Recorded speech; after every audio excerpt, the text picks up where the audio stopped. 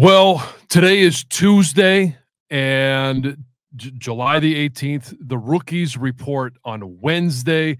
Training camp is finally upon us. I know I'm excited. TJ, I know you're excited. Fans are excited. A lot of that excitement stems from the, you know, the way that the Lions ended last season.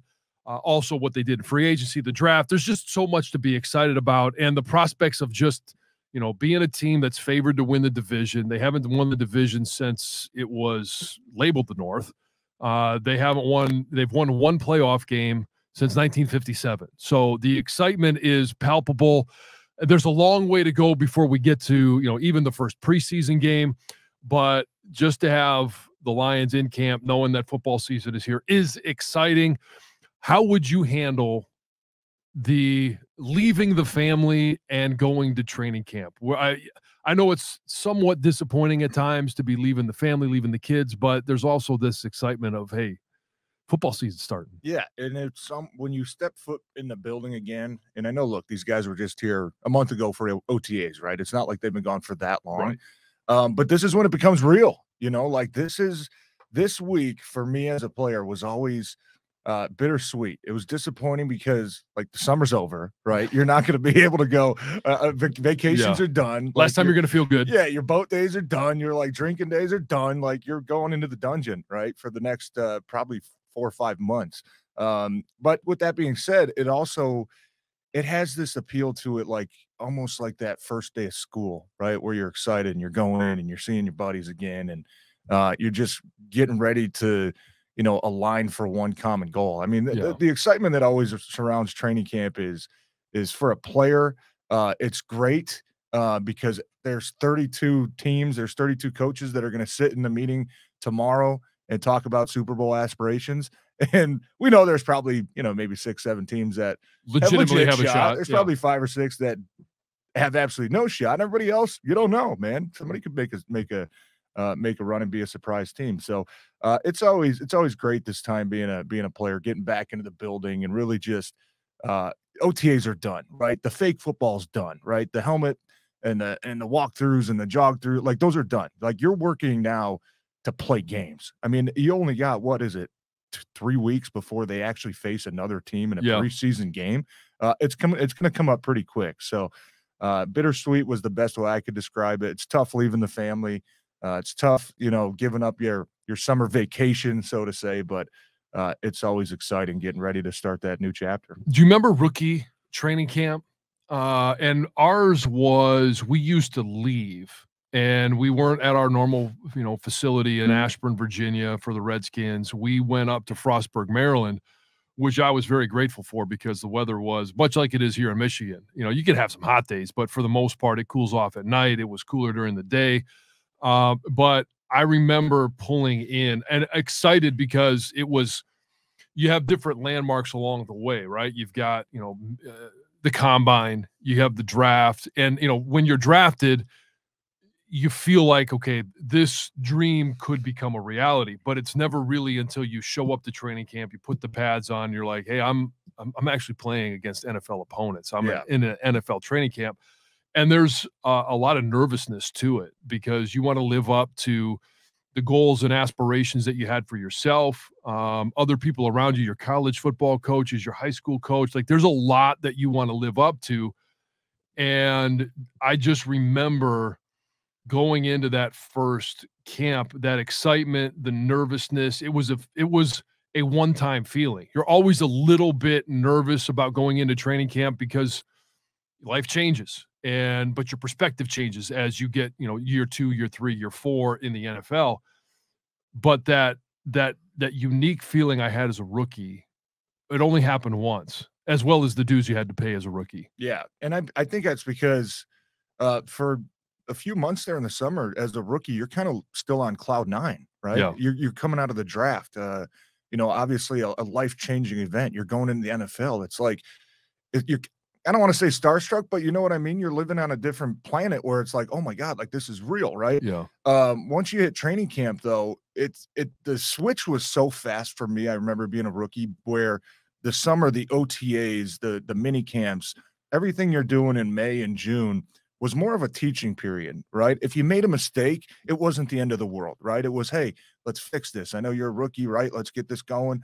When you hit training camp, it's like if you make a mistake, eh, hey, next guy in, let's go. We don't have time, man. Like the learning period is over. That was what the last couple months before we're gearing up for you know real regular season football for real flying bullets. And that for me was a, a, bit of a different stressor because it's like the urgency picks up a little bit, right? You got pads on. We know for offense and defensive linemen, it ain't real football until you're wearing pads, right? Everybody else, if they're in helmets and shells, yeah. they can jog through. They're not getting contacted. Once you put the pads on for O line, D line, it's like, oh, this is a different game. Like yeah. this is a different beast. And I just remember how fast uh, training camp was as far as just the play to play, drill to drill, uh, j- the urgency, right? The energy, everything around it was like, damn, like I got to take it up another level. I'm yeah. off that cloud nine uh, period where, yeah, I'm the rookie. I was just drafted. Everybody was shaking my hand.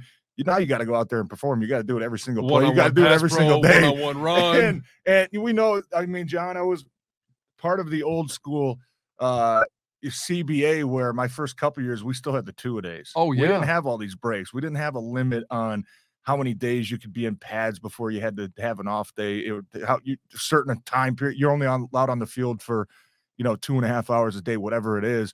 Uh, we didn't have that, Jon, and I know you didn't have that no, either. And weighing, that was different being a rookie. in and out before and after oh, practice. Oh I mean, that was a team rule. If you didn't weigh out after the morning practice, it was a fine yeah. because if you lost as as big guys, if we lost 15 pounds, 15 pounds, you had to put on at least half of it, which was all obviously water weight before they would allow you back on the field for the second practice. Yeah. And being a rookie, you know, the first practice, a lot of those days, you know, our, our veteran guys, you know, Chad Clifton, who was a 10 year vet at left tackle, he wasn't doing two a days, right?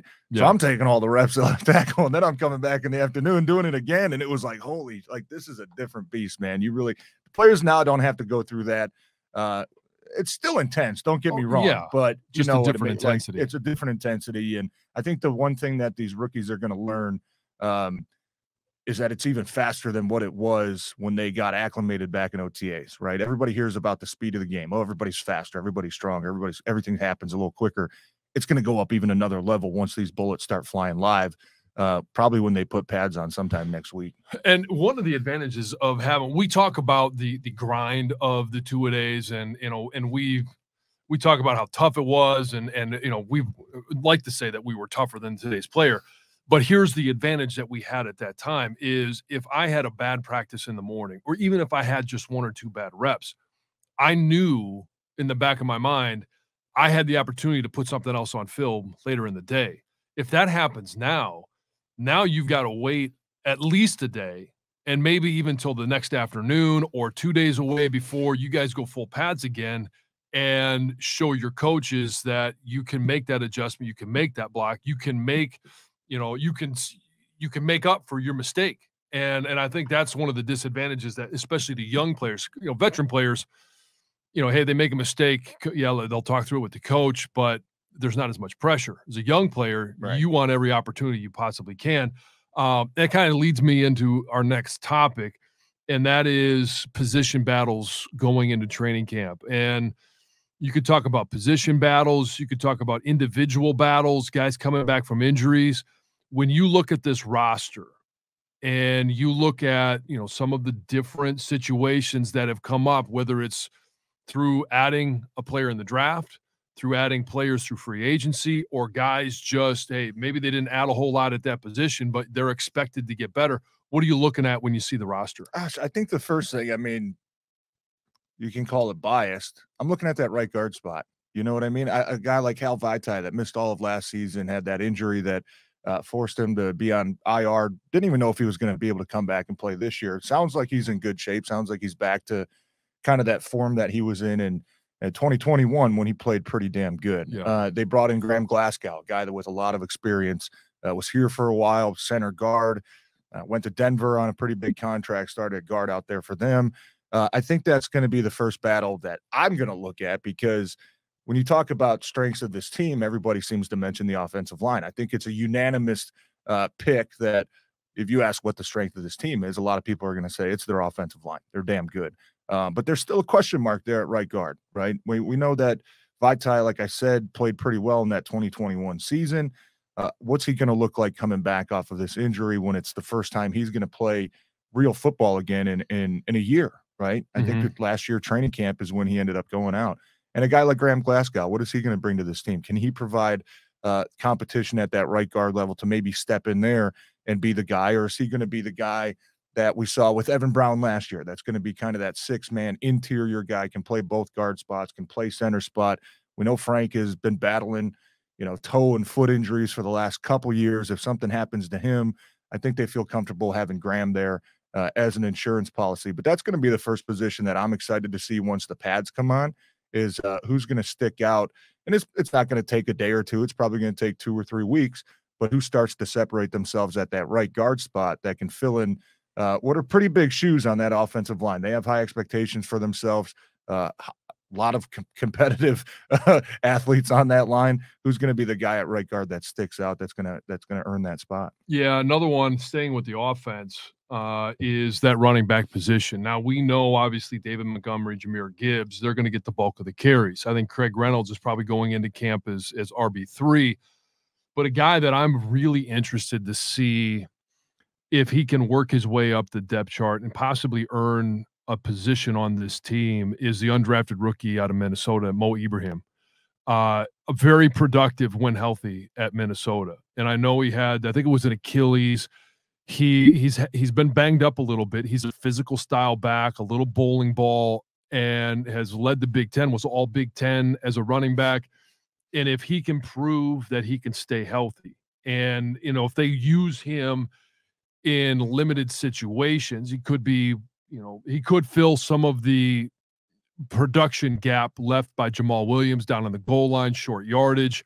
I know that David Montgomery is probably going to be the guy that's called upon for some of that but I'm really curious to see if he can work his way up the depth chart and take a little bit of the load off of Gibbs and Montgomery uh, and be a, a, weapon that's utilized. You know, maybe it's, you know, maybe he doesn't see much time until you know week six or seven, but eventually, if if the coaches can, you know, gain some confidence in him, the trainers and and the staff and the front office can gain some confidence. Say, yeah, this guy can stay healthy.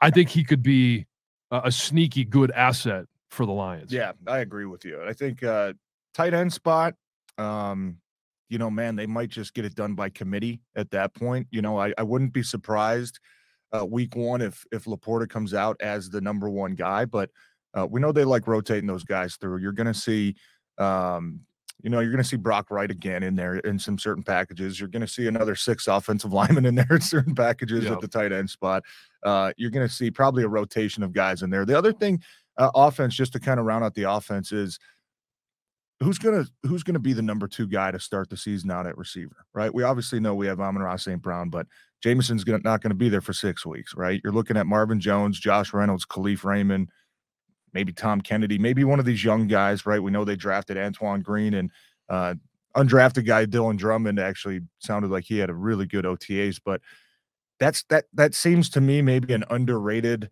um maybe a concern maybe heading into training oh. camp is who that number two receiver is you look at and even marvin jones last year when he was in jacksonville caught you know 46 passes 500 yards three touchdowns pretty much uh, exact numbers as josh reynolds right josh reynolds had 38 catches around 500 yards and three touchdowns uh, is that really what you're the production that you need from a number two spot, it's probably a little bit low. Um, so that's going to be something that I want to see as training camp develops the first couple weeks is who's going to be that number two guy, right? DJ Chark isn't there anymore. They don't really have that uh, burner type without Jameson Williams that we saw with DJ Chark last year that could take the top off of a defense. Is one of these number two guys going to step up and and show that they can fill that role and fill a, a void that is probably going to need a lot of targets this year when you start thinking – Amon Ra is going to get double teamed a lot, right? If Sam Laporta can come out and show he's a threat, he's going to get double teamed a lot. That number two spot is going to be very vital to what this offense is able to do. Yeah, and I think it's going to it, some of it's going to come down to how do they utilize Jahmyr Gibbs? We know he's he at Alabama.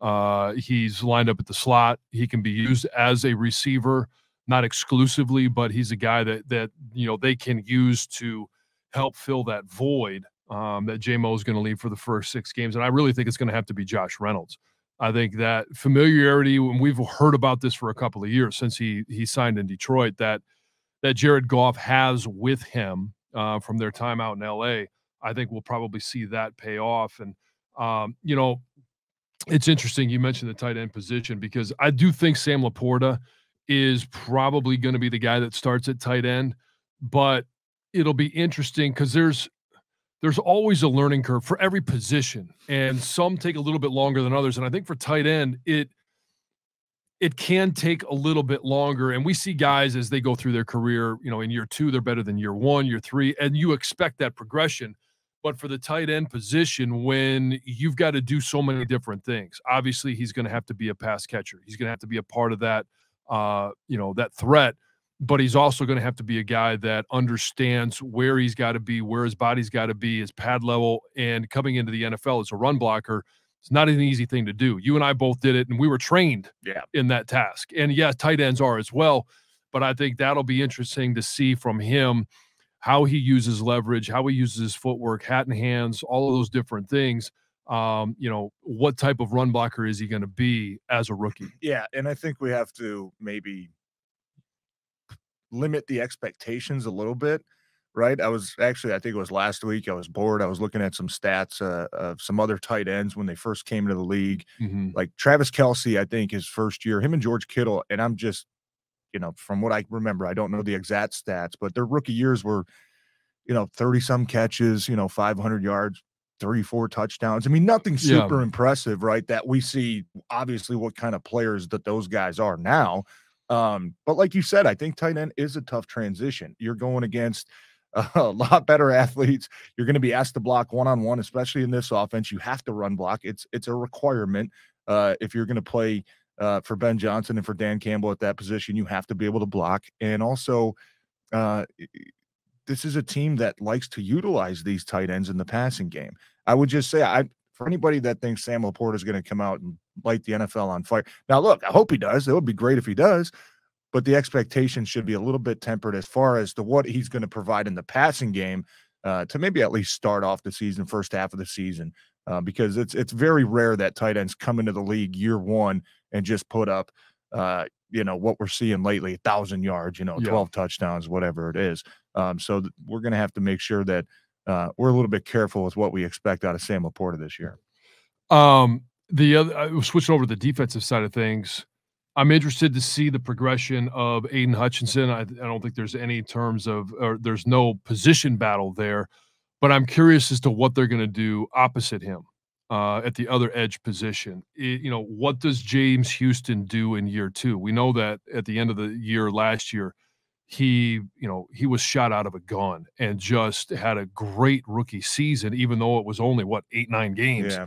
um romeo okwara being fully healthy having a full healthy offseason to train and get back charles harris healthy again restructured his deal to try and uh, you know make it a little bit more enticing to, to to keep a roster spot how do they manage that other that other edge position, and then you throw a guy like Josh Paschal in there. And I know Josh can be used uh, pretty much across the defensive front, but you know, as as it's labeled, he is an edge guy. So how do they operate things opposite Aidan Hutchin? I think is going to be really interesting because Romeo, correct me if I'm wrong, but he's entering the last year of that three year deal that he signed and then immediately got hurt. Yeah. Uh, we kept thinking he was going to come back and be a, a you know uh, a force last year. Eventually, did get back on the field, but not as quickly as I think everybody had hoped or wanted him to. And and him, you know, not that he was doing anything wrong, but that just took a longer time to heal. Yeah. Is it fully healed? Is he back to the guy that signed that that contract extension two and a half years ago? Yeah. If you talk about just overall competition on this team, I think the defensive line probably sticks out as being uh, you know, number one. Yeah. And you mentioned Aidan Hutchinson. I really think if look, you're looking at four starting spots on that defensive line, there's probably two that are etched in with you know permanent marker, and that's going to be Aiden Hutchinson, and I think that's going to be Alim McNeill. I think he's a guy that they uh, trust on the he's their best interior guy, right? Mm-hmm. Those two guys are going to be starters, um, barring anything unforeseen uh, day one. But that other defensive tackle spot too, right? I know Isaiah Buggs is a guy who played a lot for him last year, uh, played in all 17 games. Uh, John Cominsky, you know, we all we all love the commish, man. He is just a blue collar, you know, tough. It can be used at any position, and we front. love him. Right, he can play inside. He, he, played a lot outside last year, but those other two spots, uh, you know, who's going to separate themselves to be able to earn that playing time? Uh, on what's going to be, you look at this defensive line. It's kind of weird. You say, man, they got a lot of dudes. They've got one dude that we think with Aidan Hutchinson. The rest are good players, but uh, the depth looks good but you still need to be able to find guys that can go out there and be three down players mm-hmm. and then have the guys behind them that when they come in, you know, five, six, seven plays into a series, uh, the teams just aren't changing their game plan because you've gotten significantly weaker uh, in those spots, right? And I think that they do have good competition there. Charles Harris, another guy uh, you mentioned coming back off an injury, obviously had the great 2021 season, played only six games last year, uh, missed a lot of time with injury how hungry is he going to be to prove that he can still do it in the NFL, mm-hmm. right? How hungry is he going to be seeing a lot of these young players playing in the position that uh, he was the one dominating at just two years ago?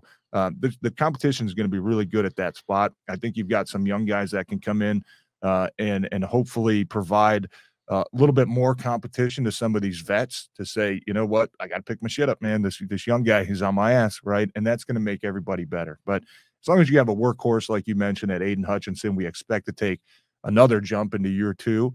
Uh, that should be pretty contagious to the rest of that group. Yeah, and Brodric Martin. You know, we heard everything about him. Didn't know anything about him until he was drafted, and then Brad Holmes, you know, traded up. He was drafted a day ahead of when he thought he was. Um, he was setting up for a party the next day. All of a sudden, gets the phone call. He's drafted. How long does it take him to progress into being a player that they can count on. I think it's going to take some time. Uh, and just like we talked about on offense uh, with Hal Vaitai, Levi Onwuzurike uh, has been banged up, back injury.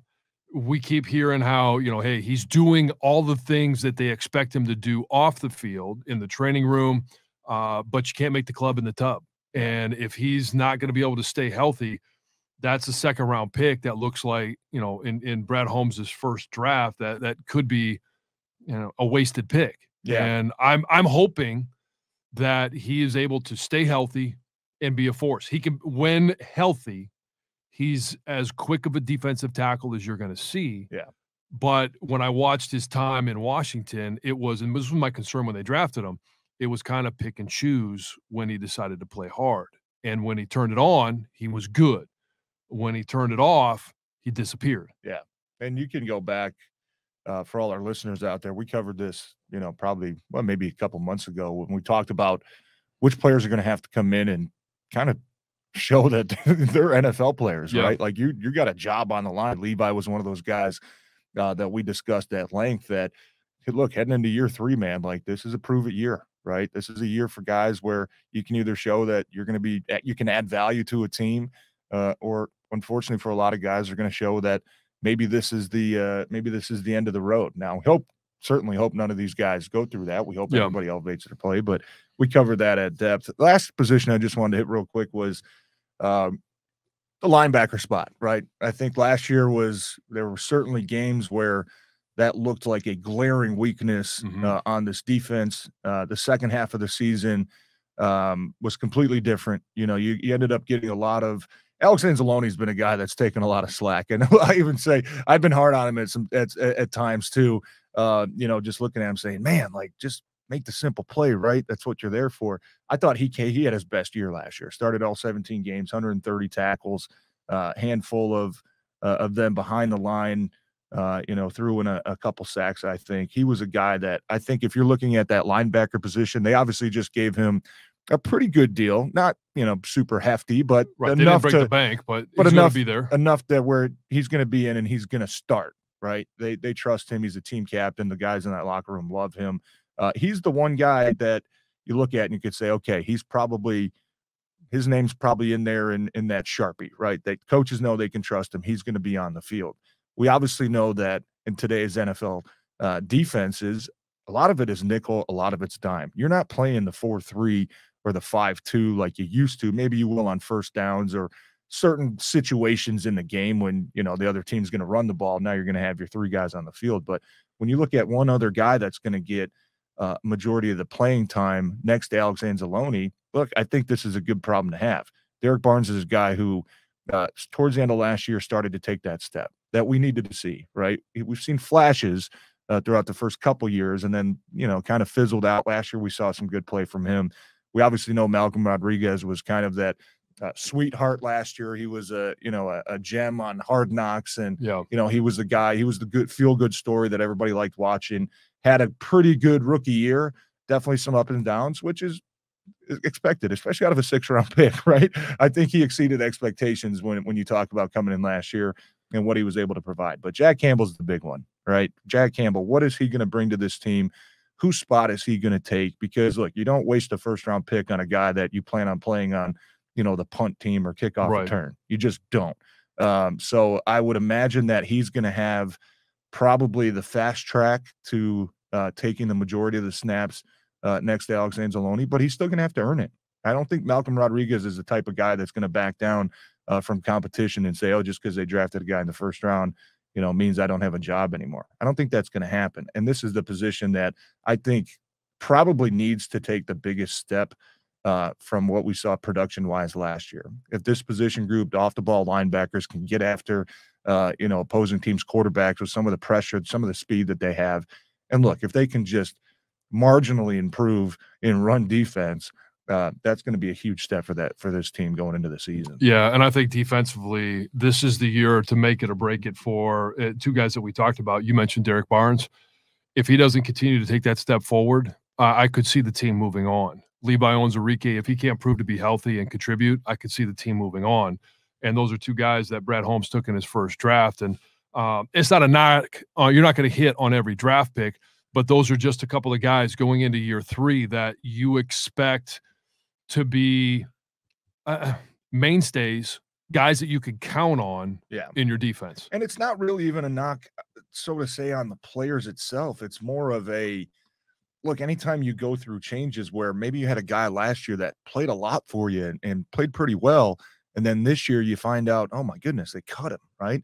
That's not necessarily a knock on the player as it is uh, maybe just a positive aspect that the GM has brought in other players, a lot of good talent, right? And and sometimes you have to make those hard decisions. I remember going into last year, you know, a guy like remember 2021, they had a nickel corner, undrafted guy, AJ Parker, played a lot of defense uh, for wasn't a great defense, don't get me wrong, yeah. but he played a lot, you know, as a rookie. Then you go into year two and everybody's talking about, man, like this dude can take that next step.